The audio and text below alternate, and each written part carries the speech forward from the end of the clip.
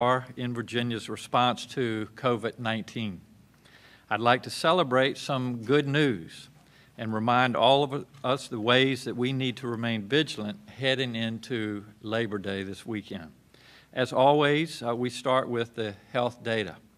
It's been a few days since we met, so I will go into a little more depth today.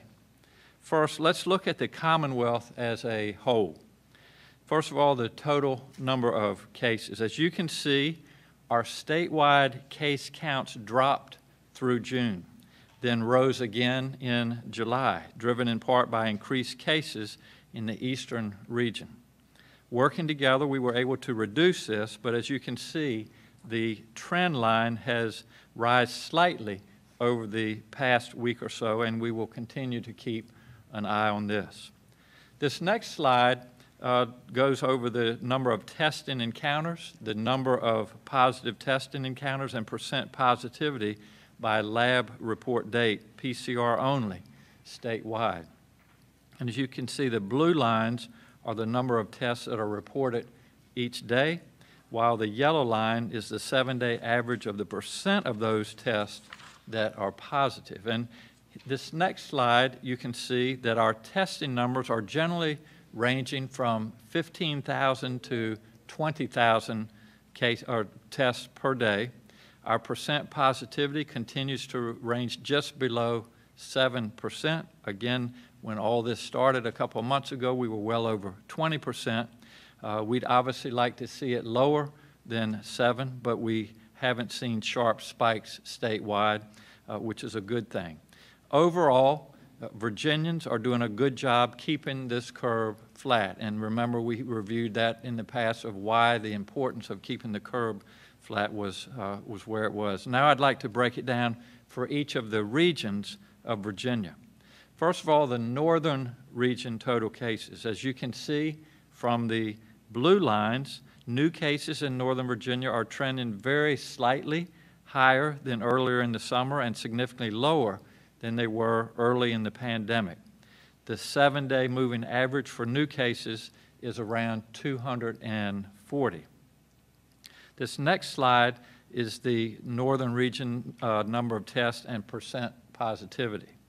So here you can see that Northern Virginia's percent positivity is looking steady, hovering around 6%.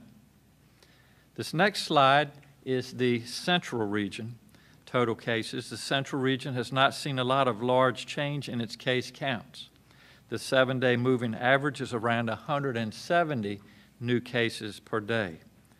This next slide shows the central region number of tests and percent positivity. The central region, which includes right here in Richmond, saw a drop in percent positivity starting in early August. It now is just over 7%. This next slide is the Northwest region of total cases. Similarly, the Northwest region hasn't seen huge changes in numbers.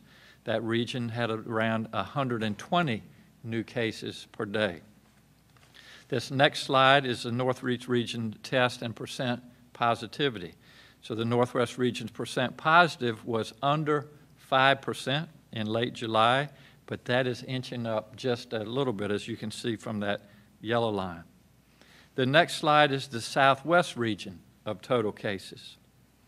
The, the case there, unfortunately, we're seeing cases trending up in that particular area of Virginia. Two months ago, the average new case number was around 80 per day. Now it's more than 220 per day.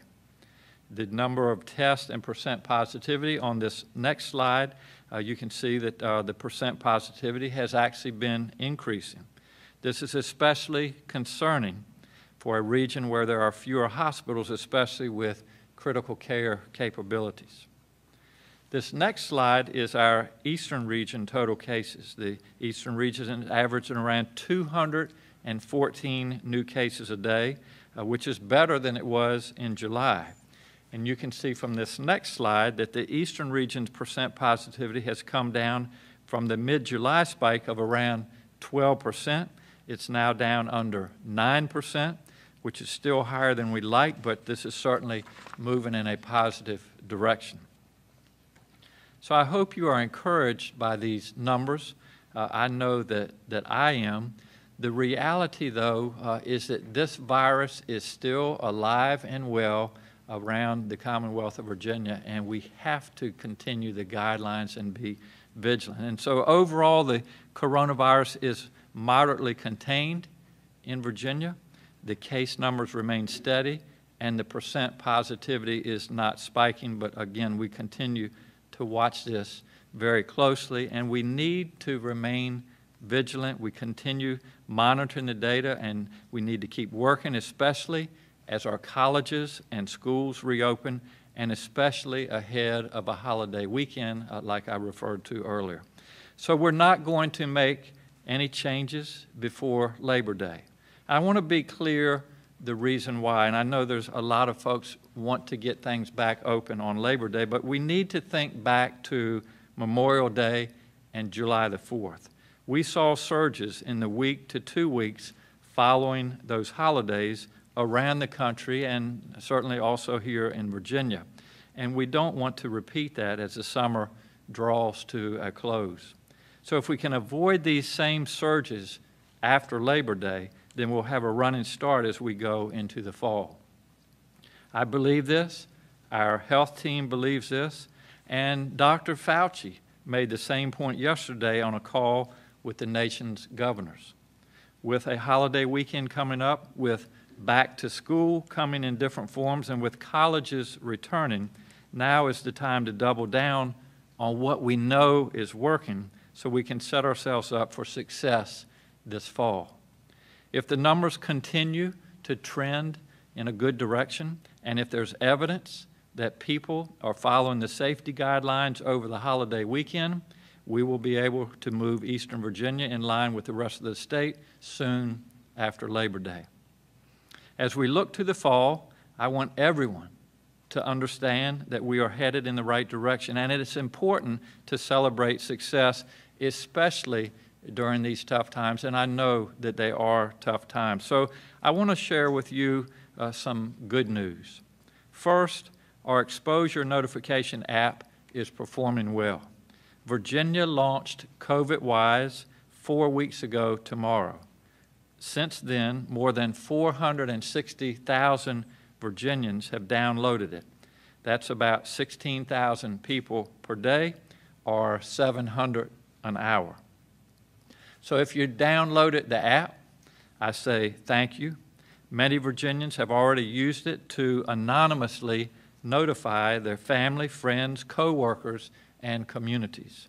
In fact, just yesterday, 51 people received a push notification that they were likely exposed to someone that anonymously reported as COVID 19 positive. We can all be proud that Virginia was first and we got the nation's attention with more than 5,000 stories around the country. This is a great start, but we have to remain vigilant. So, if you haven't already done so, please visit covidwise.org. That's C O V I D W I S E dot org. You can download it for free on Google Play or in the App Store on your iPhone. Another thing that is working well is our testing throughout Virginia. We took some hits earlier in the year about testing. We've turned things around, as you just saw in the numbers, and we are now averaging 15 to 20,000 tests a day, and those are the, uh, the PCR tests. Uh, so we're moving forward in lots of ways. You know that we joined a purchasing pool with other states, and our state lab just last week began conducting serology testing, also called antibody testing.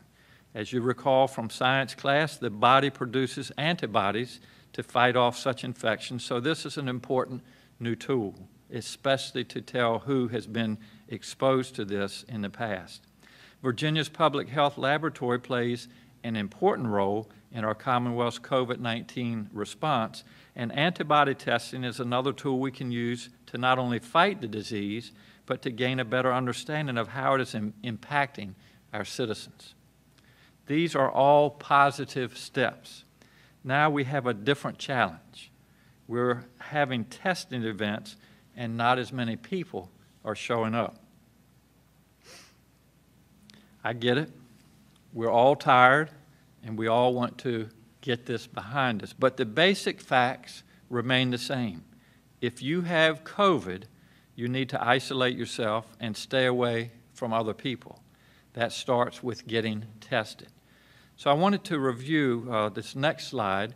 Uh, this is a map showing all the places that you can get a test over the next few days. They're all over the state, as you can see. When you go there, you'll meet people that you can trust members of the community, volunteers from our National Guard, your neighbors, people who care about you and your health. It's really important.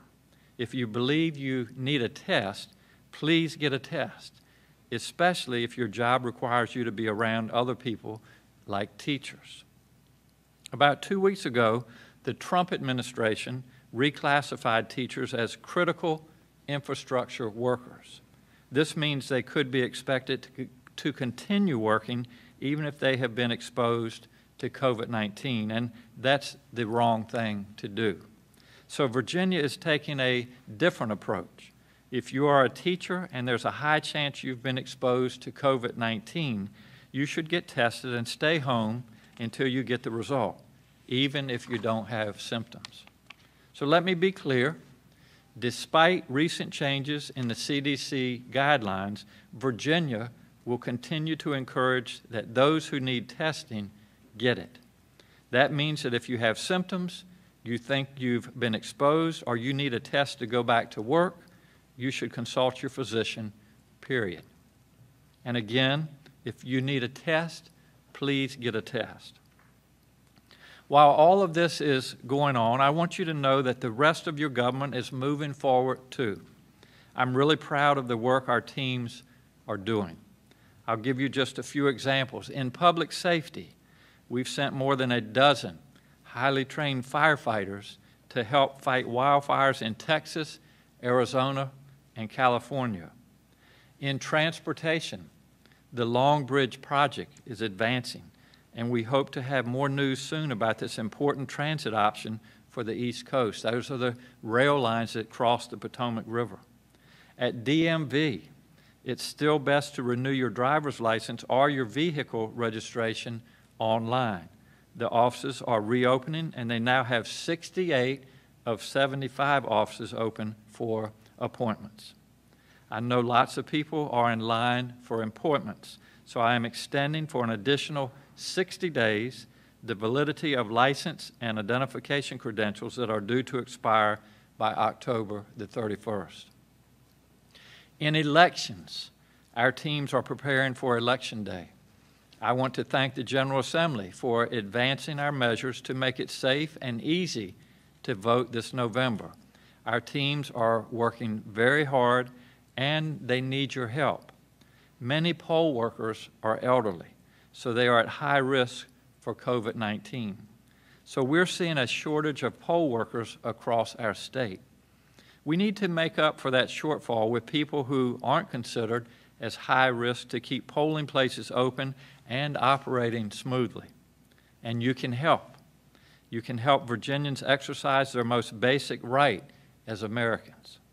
The Department of Elections is partnering with the Health Department to provide safe and sanitary polling places for voters and our poll workers. If you sign up, you can rest assured that you'll be safe. So please consider working at the polls on Election Day. You can apply at vote.virginia.gov. So that's vote.virginia.gov. Before we turn to your questions, I want to highlight one more success. And it's another thing we need to keep working on as well, and that's our census.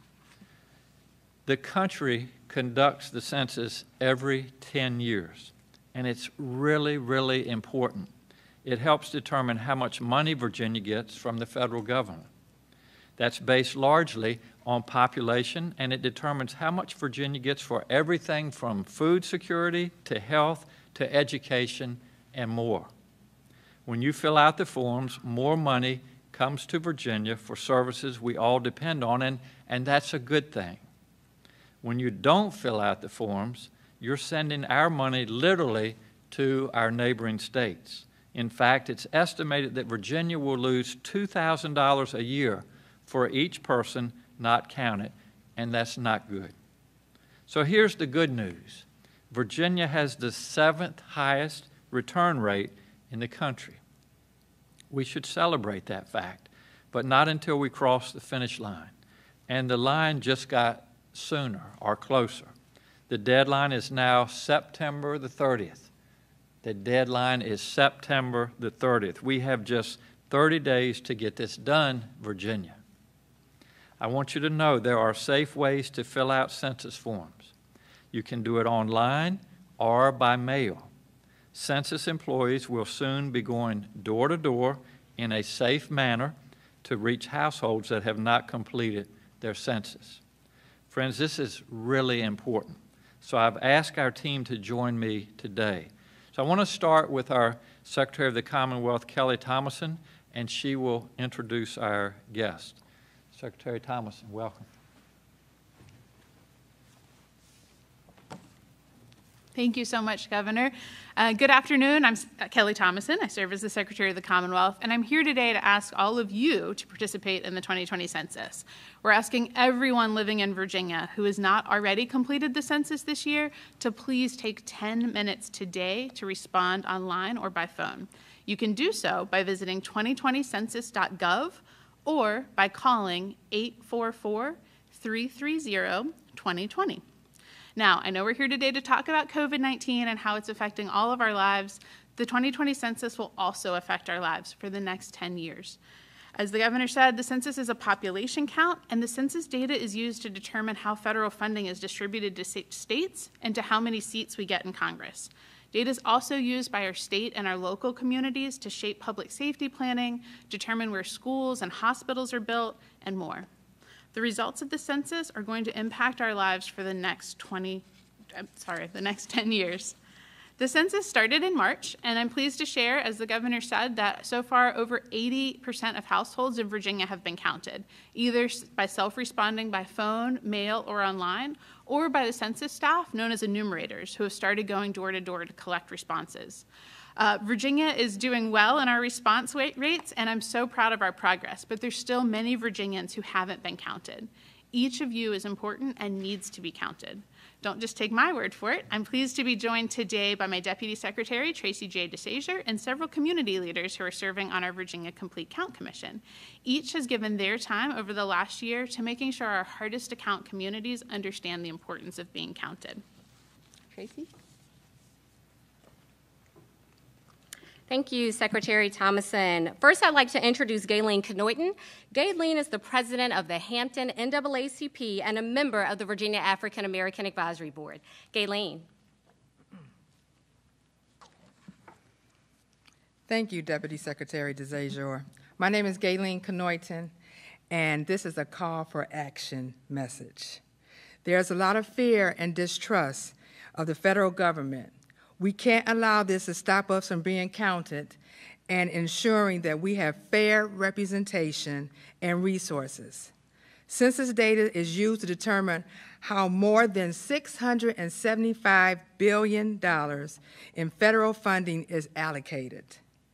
This includes programs such as Medicaid, Medicare Part B, SNAP, WIC, housing vouchers, school lunches, community health centers, Pell Grants, and federal student loans. We can't afford to have Virginians not be counted and lose out on critical funding to support our communities. So please visit 2020census.gov and remember the deadline is September 30th. Next, I'm pleased to have Hyun Lee join us. Hyun lives in Centreville and is a leader in Virginia's Korean community. Hello, this is Hyun Lee. By law, all census responses are completely confidential, and your information cannot be shared with law enforcement or anyone else. Additionally, the census will not ask for your social security number, bank account, political affiliation, or citizenship status. Your responses are protected by law and will only be used for statistical purposes. 버지니아 한인 여러분, 9월 30일까지 센서스 인구 조사에 꼭 참여 부탁드립니다.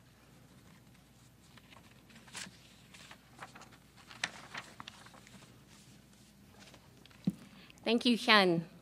Eric Lynn of Chesterfield served on the Complete Count Commission for the 2010 census and also has a decade of service on the Virginia Asian Advisory Board. Eric?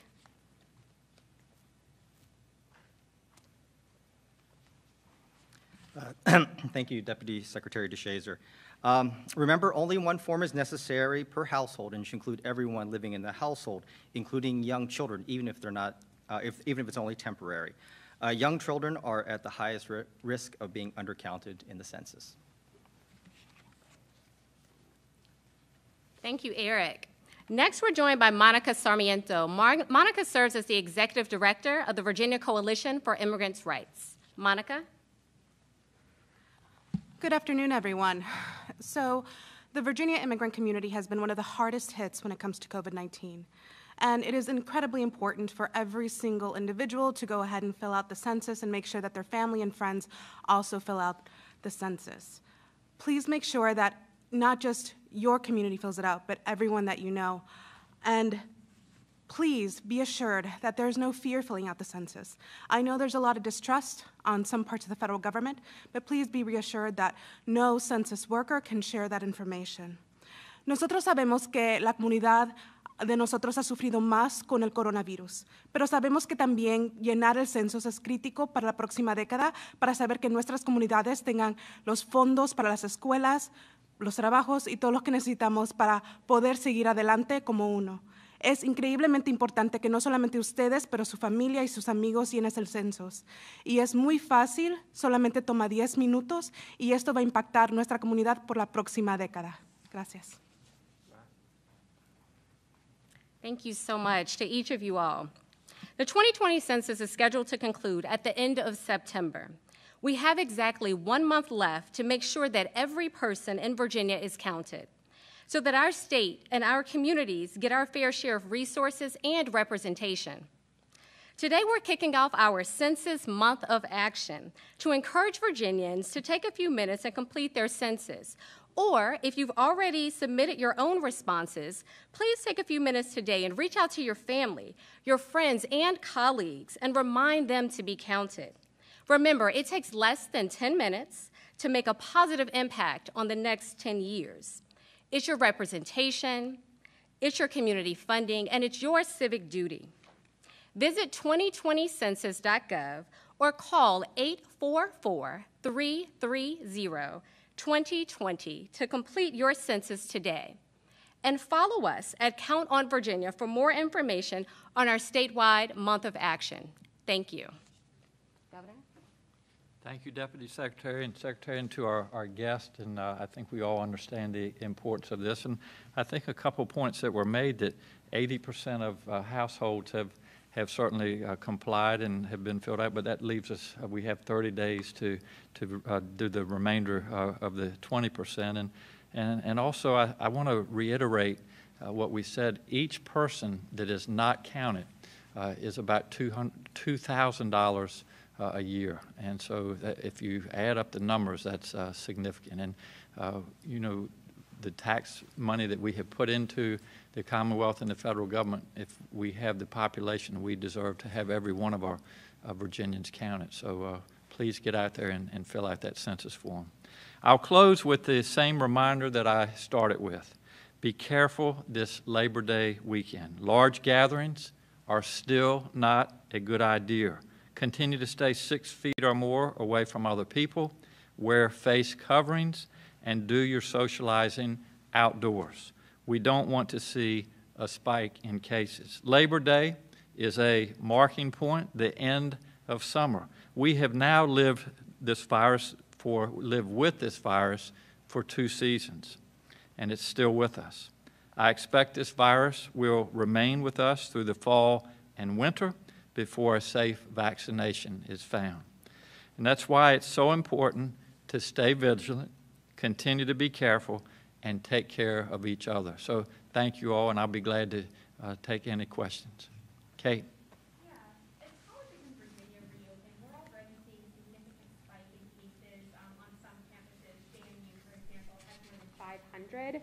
So I'm wondering what specifics you, or specific metrics you're looking at on campuses, and if there's any point, you know, that you would consider shutting campuses down. It's a great question, Kate. The question is about our colleges and, and universities, and, and just as Kate said, we're seeing, uh, I think, concerning numbers of positive cases at our colleges and universities very early on as, as our students have returned to campuses. And just to go back a little bit, Kate, we, we have provided specific guidelines.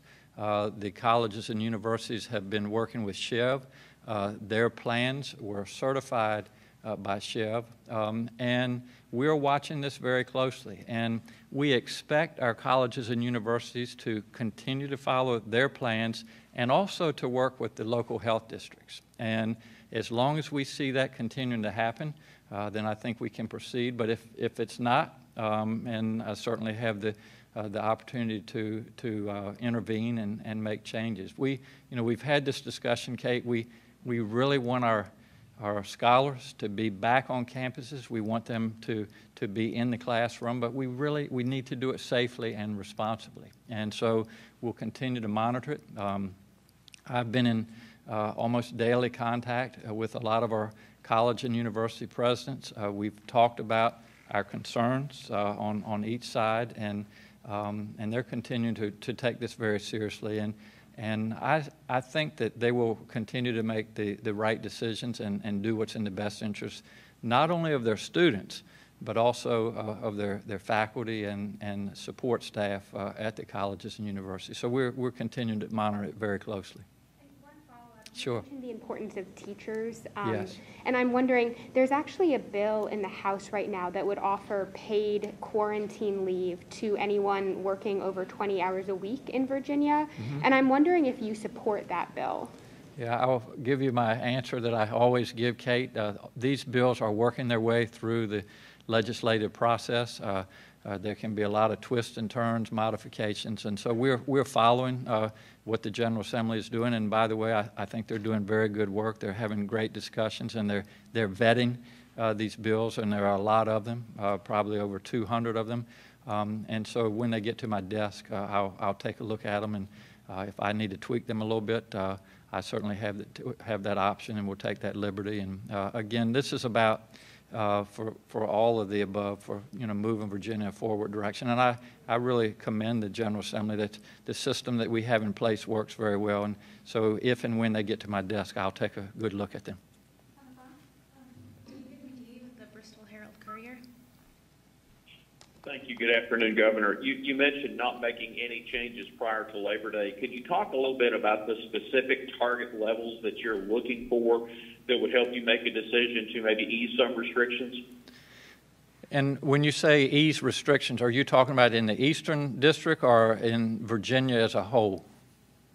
In in Virginia as a whole, sir. Yeah, I, I appreciate the question. And, you know, right now, our positivity rate, uh, yesterday was at 7.4. It's, it's hovering uh, around 7. Uh, it's obviously been over 20%. It's been down in the, the sixes. And, you know, as I said earlier, this, this virus is, is still out there. It's uh, alive and well. It's very, very contagious. And, and so regarding the Commonwealth as a whole, um, I'm not prepared at this time uh, to make uh, any significant changes.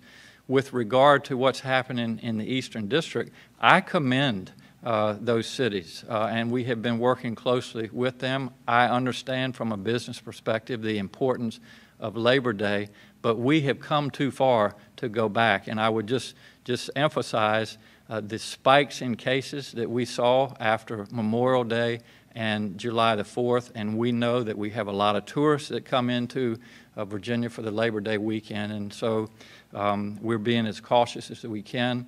Again, if we can keep the numbers down in the communities, then it will allow our schools to reopen sooner, our colleges and universities, and our, our businesses. And so, so that's really the goal of, of what we're trying to do, what we're trying to accomplish. Governor, you said the virus is moderately contained in Virginia. Elaborate a little bit more on that and kind of the average person, what that should mean and, and in terms of their guard, should they let it down or not let it down? Well, I appreciate that question, Henry, and, and the message is they should not let their guard down. Um, and it's when I say moderately contained, um, our positivity rate is around 7%. It was higher than 20%. So we're at a more acceptable range, but we're still not close to where we need to be to, to ease these restrictions. And um, I think anytime there's a, a, large gathering or anytime really someone is in, in close contact with an individual that, that has COVID 19, there's a very good chance that they're going to get it. And so, in order to be where we need to be in a more comfortable place, people need to continue to be vigilant. I can't say that enough. It's in our hands. It really is if we follow the guidelines, if we wear our mask when we're around other people, if we wash our hands, keep our hands away from our faces, and keep our social distancing, we can get this virus under control. It can be done. But it's going to take the cooperation uh, of, of, everybody. And, you know, Henry, I, um, I, I, see the same things that, that you all see uh, around the country, around Virginia, parties, people that say, I don't need to wear a mask, I don't need to follow guidelines. And so I, so I watch that, and I regret that. I really do because uh, we, could, we could get this under control very easily if we all did the right thing. And that's all I'm asking of Virginians is to do the right thing. Bruce Potter, Inside Nova. Um, good afternoon, Governor. You uh, touched on this uh, earlier, but the pandemic is now nearly six months old. And they say that hindsight is 2020, and we're in 2020. So if you had known on Mar- March 1st what you noted in May about COVID-19 and the pandemic, what would you have done differently then? That's a great question. Um, you know, we we learn every day uh, from this, and um, so I, I think rather than to say, you know, rather than to play Monday morning quarterback and say, well, we should have done this, we should have done that. And I think the historians and the epidemiologists, uh, I think they can certainly uh, make those observations and, and, and make those statements. But I'm, I'm going to take Virginia forward. Uh, I know what we know today. Uh, I know that the, the virus is still very prevalent. It's still very contagious. We know what works, and, and so we'll continue to, to work uh, to make tomorrow a better day than it is today. But uh, as far as going back and saying we should have done this or that, that's probably for another time. So, uh, as you know, the number of cases of COVID 19 among uh, the Latino and yes. African American population remain disproportionately high. Has the administration given any more thought to maybe how to mitigate that, and can you tell us about that effort? It's a great question, Mel. And this virus, uh, this pandemic, has, has obviously affected people of color. Uh, uh, substantially. Um, and you know, we've we've taken a lot of measures. Uh, we, as you know, we were up in Northern Virginia. Uh, it's probably been a month and a half ago now, but we did our entire uh, conference uh, in in Spanish to to reach out to those folks. We this particular uh, press conference and each press conference we do is in Spanish as well for people that are are listening. And I encourage them to pass on the information to their uh, friends, neighbors, and, and family. And then the other thing I would really encourage people to pay attention to are the, are the testing uh, sites around Virginia. And, and we have those listed out, and, and I, hope we can get those published. But uh, a lot of those are in our Latino communities and, and also other communities of color. And, and so we're, we're really you know, working from a lot of different angles to make sure that we take care of all Virginians. But those are certainly some of the things that we've done and will continue to do. with the Progress Index. Thank you, Melissa. Governor, I want to follow up on some uh, comments you made earlier in the, in the conference about um, the extent of the pandemic into the winter months. As we all know, the holiday season begins really just a couple of months in earnest, and that is always a busy season for travel, get-togethers, and what have you. I know this is going to, your answer is probably going to rely on a lot of conjecture and projection, but uh, unlike, obviously, this season is going to be unlike any that we've had before. In analyzing the past and the present metrics of the pandemic in Virginia, are you, what are you and your health advisors expecting to be possibly the trend in the pandemic traje- trajectory as we approach that holiday season? And what advice would you give Virginians making plans, long-range plans for, for that season? Yeah, that's a great question, and I, if I had a crystal ball to look into, I could probably answer your question better. But I would encourage families, friends that, that want to get together during the holidays to to take this as seriously as, as they can and, and continue to follow the guidelines and stay away from large gatherings, continue their social distancing, hand washing, uh, etc. You know, we've got a real challenge on our hands because not only as we go into the fall months is COVID 19 still with us, but we've got the flu season. So, step number one for those of you that are, are listening, and I appreciate you listening, get your flu shot. Uh, and that'll help at least with, with that part of it. We'll continue to, to uh, maintain hope that a, a, vaccination comes out for, for COVID 19, but, but that's not with us uh, yet. Uh, we continue to make sure that we stockpile our PPE. Um, that's going well. Uh, we have suppliers, um, and so for our nursing homes, uh, for our hospitals. Uh, those are going to be vitally important uh, this fall if we get larger numbers of, of, individuals that need to be hospitalized. We're working with our hospital systems, making sure that they have the critical care capabilities, making sure that they have the ventilators, those types of equipment that are going to be so important. But, you know, I, I, I don't have the answer. I, I, can't predict how things are going to go. I will say this um, as a physician perhaps a bit of a silver lining uh, as we go into the fall is that uh, we are all, I think, paying more attention to uh, keeping our hands clean and wearing our face mask. And, and if we can get our flu shots, which again I highly recommend all of you to do, uh, then perhaps the flu season won't be as impactful as it was in the past. But if we get a bad flu season on top of COVID 19, we're going to have some real challenges. So, uh, again, do everything that you can to, to follow these guidelines. Governor, two questions if I may. We interviewed uh, Secretary Brian Moran, and after the interview aired, we had a lot of questions about safety within our facilities. As right. Kate mentioned, you know, surges in colleges, but there are still numbers rising in our correctional facilities. And some folks were concerned about Halifax, uh, Sussex 1 and 2, and St. Bride's. Mm-hmm. You know, inmates are, are telling their loved ones they are running out of PPE, they're having to rewash their own masks, mm. lack of sanitizing equipment, wondering if uh, the administration has any thought there. Well, we're certainly aware of the outbreaks. Again, anytime there's a, a dense population, uh, such as in a, a correctional facility, uh, those individuals are at risk. I hadn't heard, Andre, that uh, they're having issues with, with uh, PPE and masks. They're actually making a lot of the masks. So I, maybe we need to tell them to hold back on some of them uh, that, that are they're uh, distributing. But um, I will make sure that, I, that they have the equipment that they need. Again, as I said, we've done, a, I think, a good job stockpiling uh, our mask and, and PPE. And um, I'll talk to uh, Secretary Moran and his staff and make sure we reach out and talk to the D- Department of Corrections and make sure that they have the supplies they need. Because again, uh, we, we care about them, and they're, at, they're a very vulnerable population. Uh, secondly, there is some circulated information about uh, the virus being spread through uh, touching of doorknobs and uh, gas pumps. Is there any, as a doctor, what do mm-hmm. you think about this information, and should we move to maybe wearing more gloves?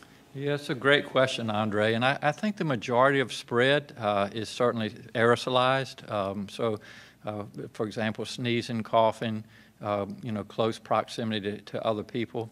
Um, just again, these are just kind of anecdotal things, but um, the cell phone. Uh, we all have cell phones, and they're right up by our face, and so I would not recommend sharing your cell phone uh, with other individuals. As far as your question about doorknobs and handles, you know, each day or perhaps several times a day, depending on the traffic uh, that goes through those areas. I would certainly try to sanitize those areas. But, um, you know, we, at one point, people were bringing their groceries home and, you know, wiping everything down. And I, I think most people would agree uh, that, some of that is, is not as necessary because most of the transmission is, is through the air, through aerosolized. Tracy Agnew with the Suffolk News Herald.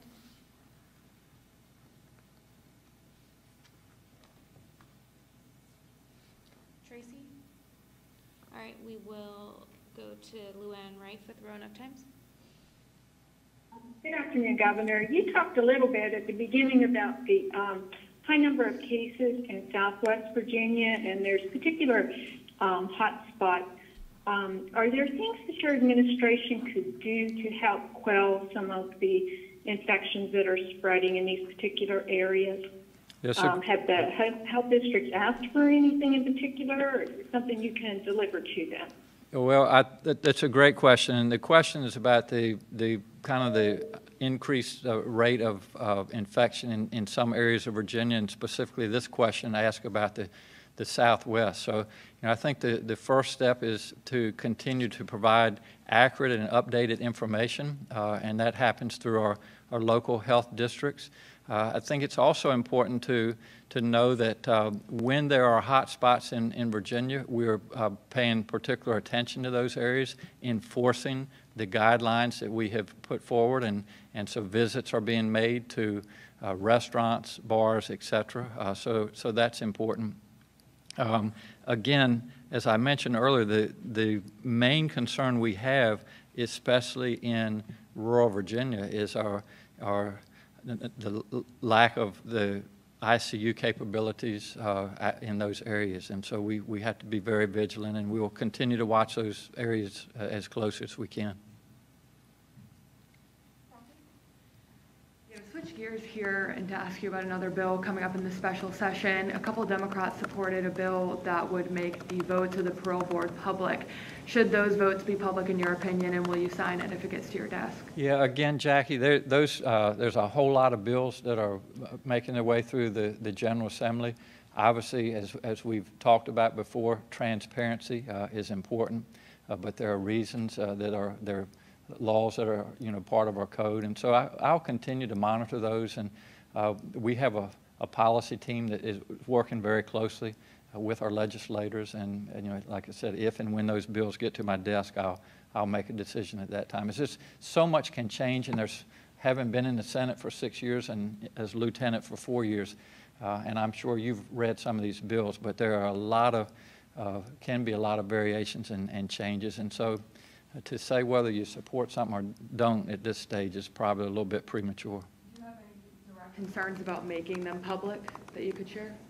Well, again, uh, it's a it's a complicated situation, and um, there are reasons that some of these things are, are kept confidential, and um, and the legislature is, is well aware of, of why some things are good and why some things aren't. And again, I'm, I'm going to let those those pieces of legislation uh, work their way through, and we'll we'll deal with them if they get to my desk.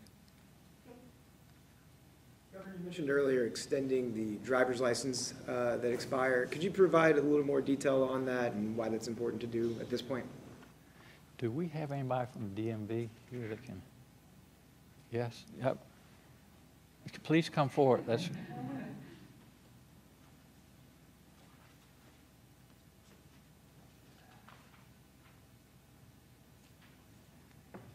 thank you. It's time to phone a friend. Welcome.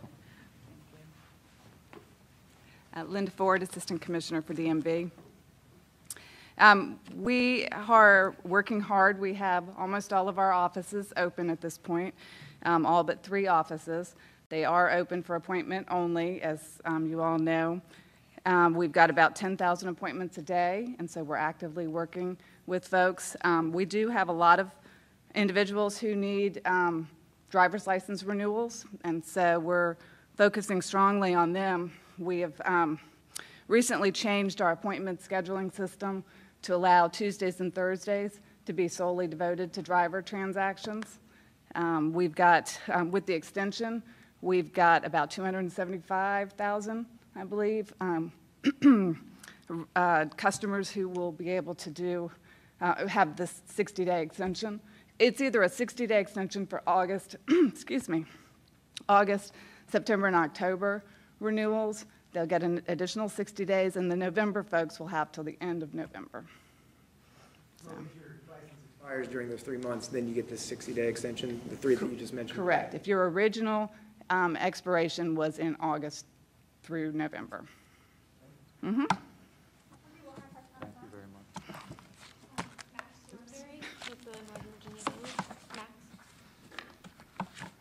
Yeah, Governor, uh, you you mentioned that uh, our cases are, are starting to trend up again. Uh, and so I'm curious whether uh, you have any insight as to what you think might be, be causing that upward trend after uh, quite a while of cases going down. And also, uh, hospitalizations and deaths are down, but we haven't been able to, to keep deaths at zero. Um, I, I don't know if we maybe one or two days since this began. Um, what is making this virus so uh, especially dangerous here in Virginia, do you think?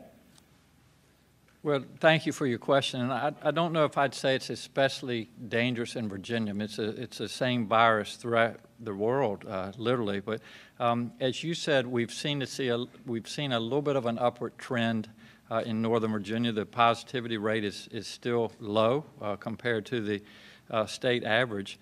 Uh, but uh, your question is, why is this happening? and a couple of things I would say. One is we know that the instance the contracting of the, the virus is being seen in younger individuals now, especially in the age of 20 through 29. And this obviously is from social gatherings, uh, whether it be in restaurant, bars, college campuses, whatever. And so, again, my message is to, to continue to, to reach out uh, to those individuals and, and please, you know, abide by these guidelines and and uh, keep those numbers down. So uh, that's one thing. The second part, and you mentioned deaths, and every death is uh, a death that we don't want to have happen, and so we, we take those seriously. And, and while we see high numbers, uh, the death rate has gotten lower, and the reason for that is because the increased number of cases is in younger people, and they're not affected as significantly. And so there, we're not seeing as many hospitalizations, certainly not seeing as many people in the ICU and in need of ventilators, and we're seeing less deaths. But there's still, uh, there still are deaths, uh, which is unfortunate, and, and, that just speaks to the uh, to what we already know that this is a dangerous virus, and uh, when certain individuals contract the virus, whether they be elderly or whether they have other underlying medical conditions, uh, they are at a tremendous risk to, to have a poor outcome. And so, um, so the message again is that, you know, if you're young and invincible, uh, think about the person that's not in your situation. And that may be a healthcare worker, it may be someone in a nursing home, it may be someone in your family. And so, so you know, always consider other folks. And, and that's why we're all in this together we all need to be part of the solution. And if we, we take that attitude, we can get this healthcare crisis uh, behind us in the rearview mirror. Yes, good. So uh, thank you all um, for being with us again. Uh, I saw some of you a little earlier today out in the rain. At least we're indoors now, so that's, that's a good thing. But um, I, I really appreciate the, uh, the media and the press being here. As, uh, again, it is so, so important for all of Virginians to have accurate and, and, updated information. And so I commend you for the work that you're doing. And to, to all Virginians, I, I hope that you all have a safe and, and peaceful Labor Day weekend. It is the uh, end of the summer officially, the beginning of fall. Um, and so stay safe, stay healthy, take care of your families, and take care of each other, and we'll get through this together. So thank you all very much.